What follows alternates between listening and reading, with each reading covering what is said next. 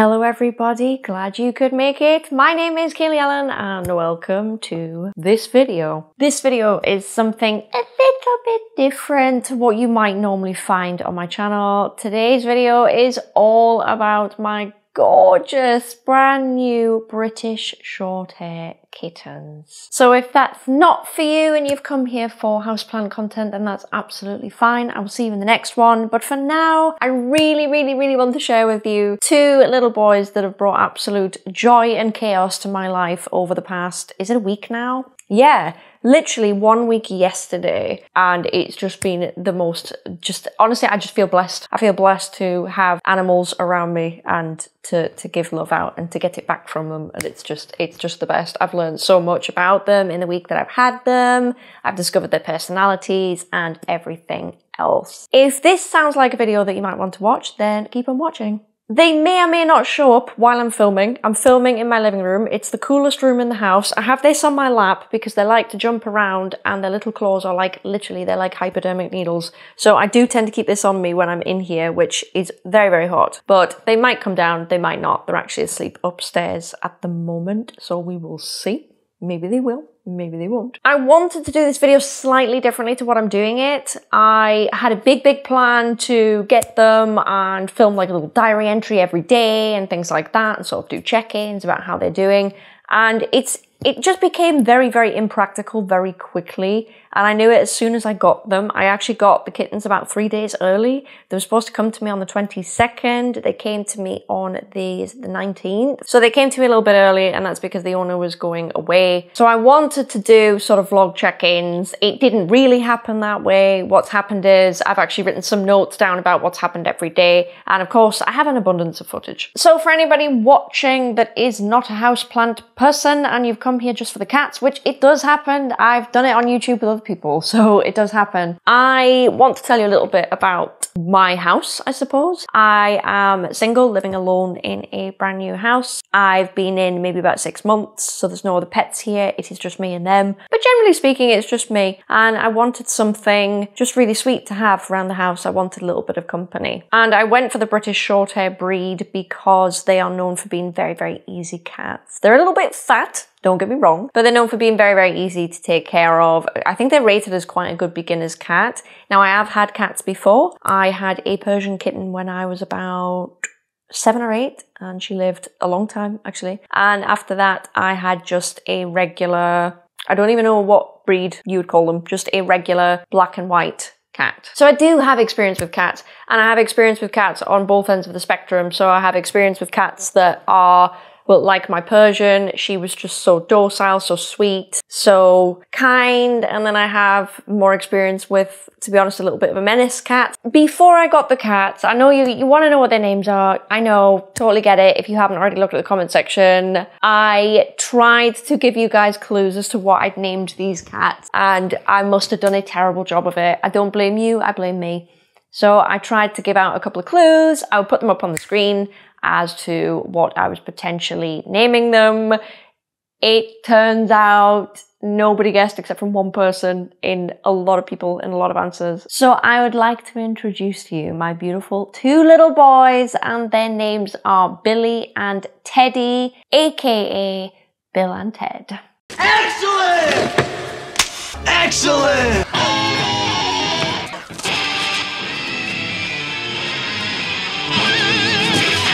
Don't really know why I ended up with that name. I think, did I say it to a friend as sort of a, like a, a semi joke when I was sort of picking them out? I think it was before I met them. I can't remember. Yeah, I think it was before I even met them. And I said, oh, what about Bill and Ted? And it, it stuck.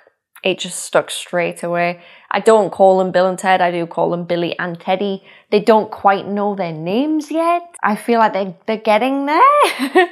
but they obviously don't know their names yet. It's only been a week, but I do my best but I do just refer to them as Billy and Teddy. I don't call them Bill and Ted. They are the cutest. Now, they are both lilac British short hairs. One is actually, for some reason, I don't know why, one is darker than the other. And if you know Bill and Ted, you might be able to guess which one is the darker one.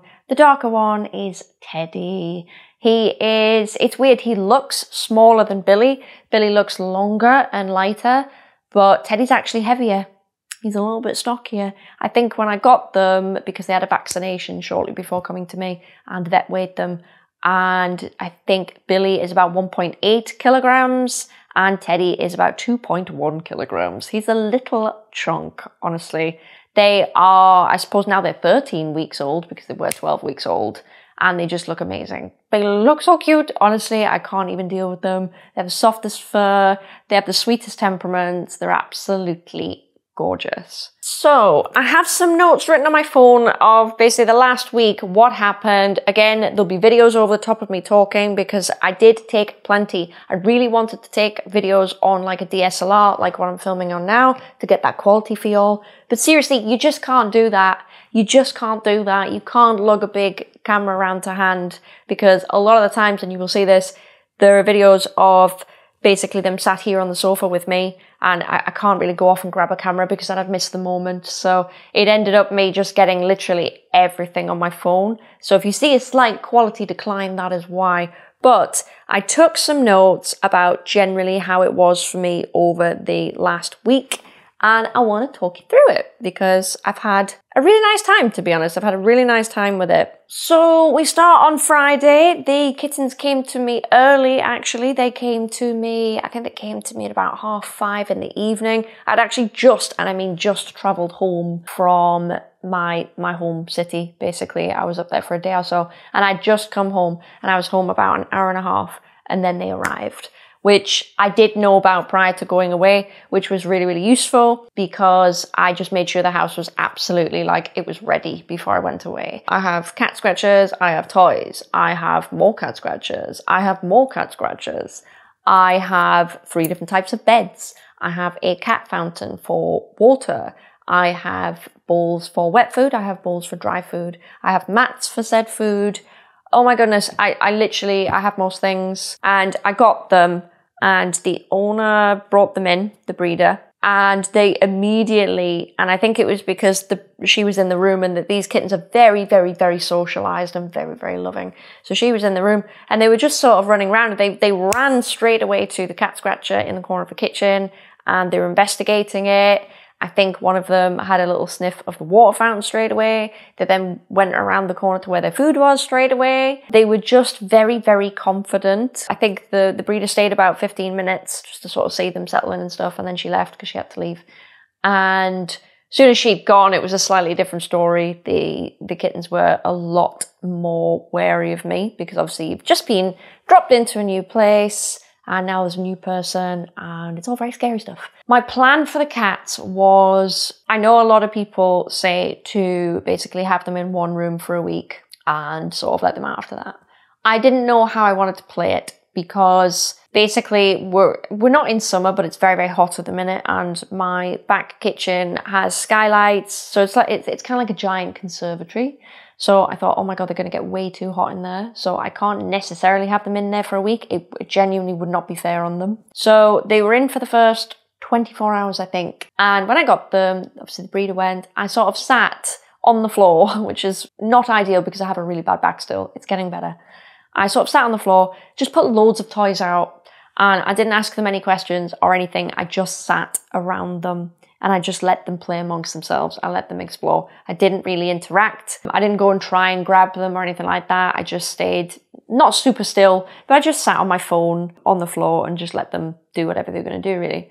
And I think after about maybe an hour, they were playing like right next to me and they're sort of knocking each other into my legs and stuff like that, or they would stand and sort of lean on my legs on the floor, or they would come right behind me because I was sort of leaning against my countertop. There's like a little triangle gap behind me where I'm leaning on the counter, so they would go in that and they would sit in that, and I was like, oh, okay, good. I think I started to pet them a little bit. I don't believe I picked them up. I don't think I did that till the next morning. Yeah, I don't believe I picked them up really till the next morning, but I stayed in there from about half five till maybe half nine. Then I, my back was just too bad, and they seemed to be really slowing down. So I came in here, I watched a little bit of TV, maybe for an hour. I did a quick check on them before I went to bed, and I went to bed. I did feed them. I fed them what the breeder gave me, and she told me how much to give them and just, you know, put it out. I don't think either of them ate anything. It's possible that Billy ate something, but definitely not Teddy, or was it the other way around? I can't really remember. Did I make a note on if they did? No, I've said that they didn't eat it, so they didn't eat it that day. So they're in the kitchen, rest of the house is sealed off. Next morning, I come down, I make a drink in the kitchen, I sit with them. I think I came down into the kitchen and I probably took a video, and it will be a really, really crap video because I wasn't expecting to actually use it. but I came down and I think they were on their little cat tower in the corner and they sort of looked at me. I think they thought about it and they actually came down from the tower and came to see me, which was absolutely lovely. So that was that. I, I think I had to go to the gym maybe about half 11 or something like that. So I stayed with them all morning. I played with them a little bit. My kitchen door, the door to my kitchen is actually glass. So they could see through it. And Billy, at minimum, Billy was crying to be out. I think because he could see me leave occasionally and come back in, and he was crying to be out. So in the afternoon, I did actually let them out. It was only for about half an hour, and then I put them in, and then I think I brought them out later on. And they were absolutely like they weren't skittish, they were just really confident, sniffing around. The thing I've, I've started to notice at this point is a little bit about their personalities. So Billy is a lot more confident than Teddy. And generally, Teddy will lean on Billy a lot. Billy is sort of like the leader. He's, he's feisty, is Billy. Um, so Teddy would follow suit. Billy would come up to me a lot. I think the day after that, or was it that day? Billy would snuggle next to me and then Teddy joined in later on. So in the afternoon, I had a little snuggle. I watched some TV and I think Billy was snuggling on me, so on this blanket. And Teddy came and lay next to me. I think at one point they were both there, but at some point Billy came and lay on me, which was really cool because both of them are affectionate, but Teddy is the super affectionate one. But Teddy's just quieter and it just takes him a little bit more time, I think. So we had a little snuggle. I don't think there's anything else to report for that day specifically. So the next day, when I on Sunday, Billy really came into his own. He became an absolute menace. And I mean a menace. And I knew he was a menace before I got him. Um, the breeder basically said, Teddy, they're both cuddly and they're both affectionate, but Teddy is super sweet and cuddly, and Billy is a menace. And if he wants to go somewhere, he will. If he wants to do something, he will. and he will be affectionate on his terms. So he was extremely playful, probably because his confidence has come right out. He was a little bit of a nightmare, to be honest. And I thought to myself, right, I'm just going to make a bold move here. They were both upstairs at one point, and I'd had cuddles with Billy but Teddy just wasn't quite as forthcoming, so I thought I'm just going to make a bold move. And I went upstairs, I picked Teddy up, I brought him down here on his own, I popped him on me, and we sort of did this rotation where sometimes he'd sleep on me, then he'd be next to me, then he would sleep here a lot. They like to do that. And he just rotated himself around me every so often. And he stayed with me for about five hours. He didn't leave the couch when I put him on the couch, which was really cute. And at one point we both fell asleep. I sort of lay down here on the couch and I sort of left like a little a little cove in front of me and we both just flat out. I went upstairs to shower after that and I think I came back down literally five minutes later, and poor Teddy, I'd kind of left him sleeping, and I came back down, and he was in the corner down there behind the plant. And I was like, oh, bless you. I think he'd felt less confident since I'd left, and his brother was upstairs. So I picked him back up, sat him back on me, and he was fine again. That was fine. Um, and he has been fine. He's just he's just less just less confident. In a word, less confident. He's not timid. He's not frightened. He's just less confident. And he was really, really affectionate with me once I'd made the first move. Really weird. And now, obviously, he's just super affectionate. They both are generally. But that was the first time that I'd had full on affection from both of them, I would say. After this, I've had them out of the kitchen. The only doors I will shut are the bathroom door because I'm just a little bit paranoid. I shut all the bathroom doors and toilet lids are down and things like that. My office is shut, but the two bedrooms upstairs are usually open and those are the other two doors. But when it gets to the point where it's sleepy time, I do actually keep them out of my room.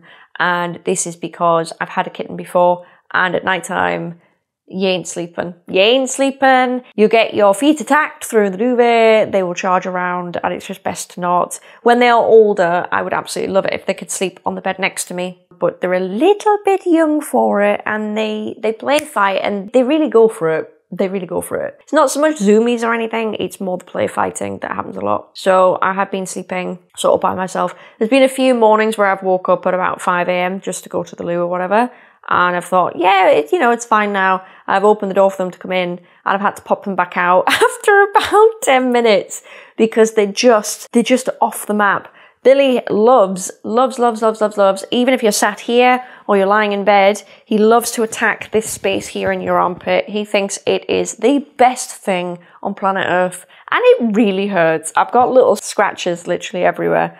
Um, Teddy doesn't, to be fair. Teddy's just, he's just very, he reminds me a lot of my first cat, my, uh, my grey Persian but their two personalities are same but very different. One is definitely more chill than the other. Teddy likes certain things, and I have I have discovered a lot more differences between them. They play slightly differently, things like that. Like Teddy prefers it when you move something along the floor. Billy likes to jump up. They're a little bit different in that way. Their eating habits are okay. They are, I, I realize I've skipped a bit, but they were eating fine after like a couple of days, literally, and now they're they're fine. They're on my food now, and oh, Billy's such a bully.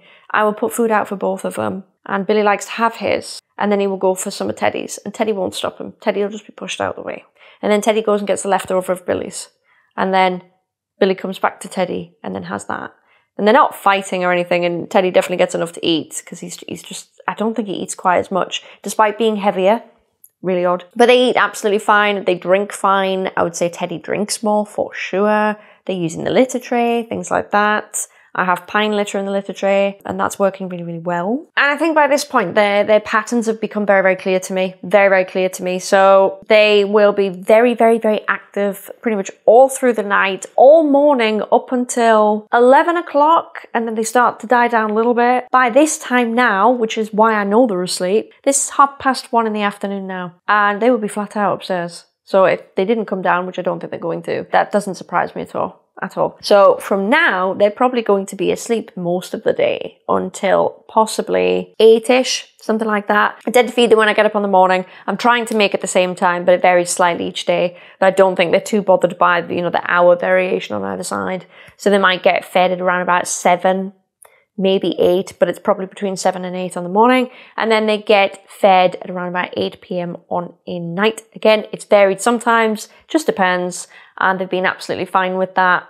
Absolutely fine with that. They do get biscuits during the day. I think Teddy enjoys the biscuits more than Billy does but they eat the biscuits fine as well, and I haven't had any problems. So yeah, they will have that food and then they'll be more playful, and I sort of have to get to bed quickly and shut the door. right now, they're in the second bedroom, right near there. Teddy likes to be in under the bed, and Billy likes to lie down the side. I don't really know why they go in there. My scent isn't in there or anything, so I don't want to say that personally. My scent's in the bedroom but I also do shut the door to the bedroom a lot. They do seem to be, and this is something I've really noticed about I'm, I'm going to assume it's the breed compared to any of the other breeds I've had, which admittedly, two breeds, get that.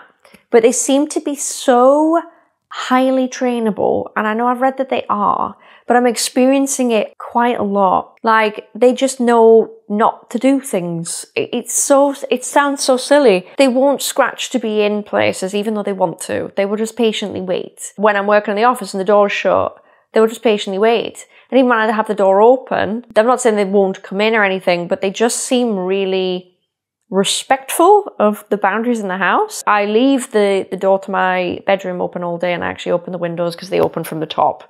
The other bedroom that they sleep in, they open outward and I don't want to do that.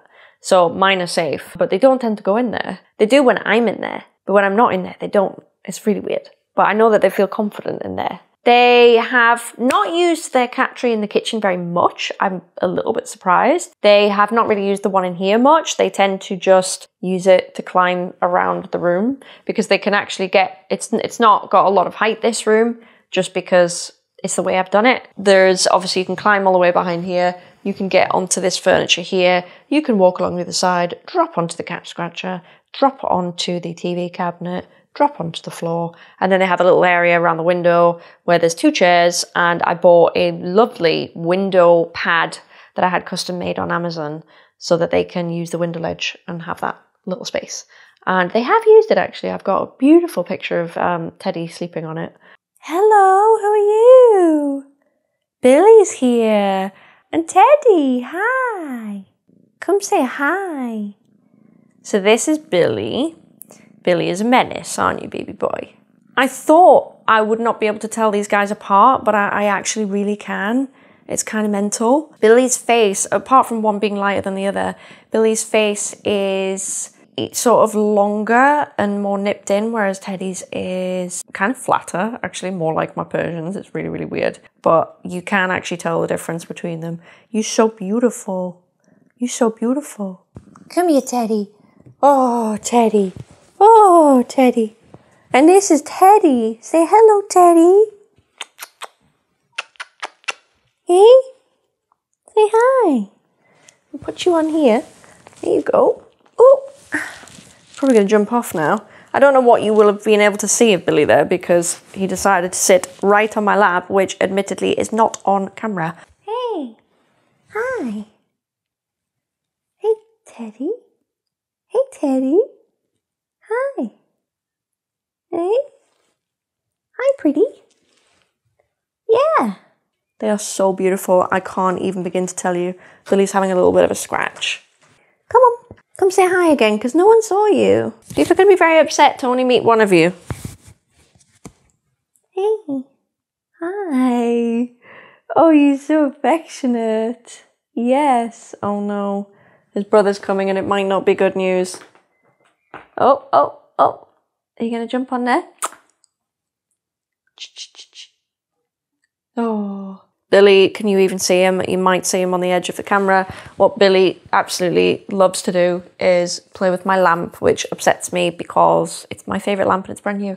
So hopefully the lamp will last. Hey, come here. Oh, okay. Come here. If you guys go to sleep, I'm going to feel really bad because I have to edit this video and I can't stay here to do it. You know? Can you see him now? You can see the edge of him. Billy. Hi, Billy. Billy, come here. Come on, come here. See everyone. Come see everyone. Hello. In. Good boy. Good boy. Hopefully you can see the difference. So Billy's face is just, he's just a completely different boy and he, oh. I know, I know. Oh, I put lipstick on you. Oh no. So generally speaking, they will sit like this with me, on and off, not all the time. They're not supposed to be lap cats, that's another thing about this breed. They're not supposed to be lap cats, but they kind of are. They do pick and choose a little bit, like Teddy's quite happy here in this little alcove. Yes, I know, I know. Such an affectionate boy but it just kind of depends on how they're feeling and what they're doing. They tell me when they want affection most of the time. Billy likes to sometimes roll over um, on his back and get belly rubs, which is nice. So they're just really affectionate and they're really lovely. And I couldn't ask for more. They're so cute. And you're so sleepy. And I feel so bad because I'm going to have to get up. I'm going to have to get up. And I've called you down and I feel really, really bad. Oh, careful. Careful. What? What are we doing? What are we doing? I'm gonna have to wipe the top of your head. You got a little bit of lipstick on it, and that's gonna bother me. It's gonna bother me. Yeah, so sometimes they'll sit on me, sometimes they won't. I actually do think in this case, a lot of it is to do with the heat because this is a really warm blanket and it's very hot in here. This is the coldest room in the house right now and it is still really warm. It must be at least 23 degrees in here. It ain't no joke. And these boys are very, very fluffy, aren't you? So that is my rather garbled diary of a kitten video, kitten introduction. Billy and Teddy. Teddy is very sweet and affectionate, less confident, but a big softy. And Billy is just your man that knows what you want, aren't you? And I absolutely adore them and I love every day I spend with them and I love learning more about them as well. It's been so fun. I feel really, really blessed to have not one but two of them. And very quickly before I go, that was something I definitely thought about because there is just me here. So when there is no one here, they're not necessarily going to get anything from anybody else or anything. So I needed to either honestly kind of have like two cats or no cats and that's for their benefit really. It's like that saying where it's like oh if you really love your dog get them a dog. There is a big myth about cats being aloof and generally not not caring not bothered about being alone. It's pretty big myth. So i wanted to keep them together. They are brothers. Should have mentioned that as well. So i hope you enjoyed this video. It is a little bit different from what i usually make obviously but i wanted to introduce them and i always said i would and Hopefully you really enjoyed this video. Of course, you'll probably see them here and there when I film in the house, blah, blah, blah. I think I'll do an update video on them maybe in six months or something like that just to show you how they're doing, because no doubt they'll be so much bigger and fatter, won't you? So thank you very much for watching this video. Please leave a like down below, leave a comment, and maybe I could be able to answer some of your questions that you might have. I will do my best. And yeah, thank you very much for meeting my cute little family of Billy and Teddy and me. Oh, Teddy's asleep under the tripod. Oh, baby boy. Anyway, thank you very much for watching, guys, and I will see you in the next video. Bye bye.